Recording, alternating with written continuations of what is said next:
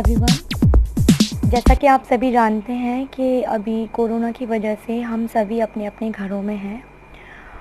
और इस टाइम सबसे बड़ा चैलेंज है जो कि पेरेंट्स सोच रहे होंगे कि बच्चों को कैसे इंगेज रखें, उनकी पढ़ाई कैसे कंटिन्यू रहे और उनके लेसन्स मिस ना हो और ये टाइम भी वेस्ट ना हो। तो इन सभी चीज़ों को देखते हुए एस के डी पब्लिक स्कूल ने एक छोटा सा प्रयास किया है जिसके थ्रू हम होमवर्क बच्चों तक पहुँचा सकें। और यहाँ मैं पेरेंट्स से कहना चाहूँगी कि हम जो भी होमवर्क पहुँचा रहे हैं, आपको बता रहे हैं, वो आप बच्चों को अपने सामने बिठाकर ही कंप्लीट कराएँ। तो जैसे कि आप देख रहे हैं क्लास सेकंड मैथ्स और डेट ट्वेंटी है। तो ये क्वेश्चंस जो कि मैं अभी आपको बता रही हूँ question number one write one to hundred number counting second write one to twenty numbers name third write one to twenty Roman numbers and fourth write two to five tables तो यहाँ मैं आपको एक्सप्लेन भी कर दे रही हूँ।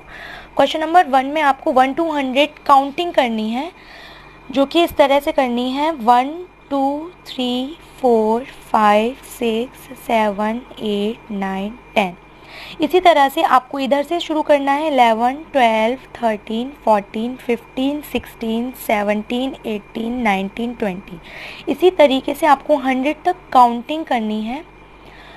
फिर आपको सेकंड आपका है नंबर्स नेम तो आपको इस तरीके से नंबर्स लिखने हैं पहले ट्वेंटी तक, उसके बाद उसकी स्पेलिंग्स आप लिखेंगे, जैसे one O N E one two T W O two three T H R double E three F O U R four F I V E five इसी तरीके से आपको ट्वेंटी तक लिखना है।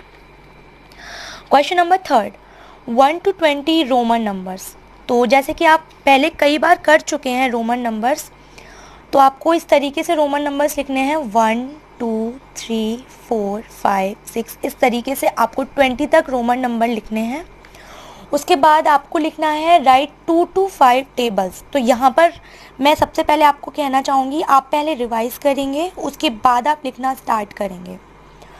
तो आपको इसी तरीके से लिखना है टू वन ज़ा टू टू टू ज़ा फोर टू थ्री ज़ा सिक्स इस तरीके से आपको फाइव तक टेबल्स लिखने हैं. और ये सभी टॉपिक्स जो भी आपको ये टॉपिक मिले हैं फ़र्स्ट वाला सेकंड वाला, ये सब अलग अलग पेज पे आप क्लीन हैंड राइटिंग में करेंगे. और जो भी होमवर्क आप करेंगे, मैं फिर आपसे कहूँगी, आप अपनी पेरेंट्स की निगरानी में ही करें। तो ये होमवर्क सिर्फ़ आज का होमवर्क है, आपको हर दिन एक नया होमवर्क मिलेगा और जो कि आपको उसी दिन ख़त्म करना है।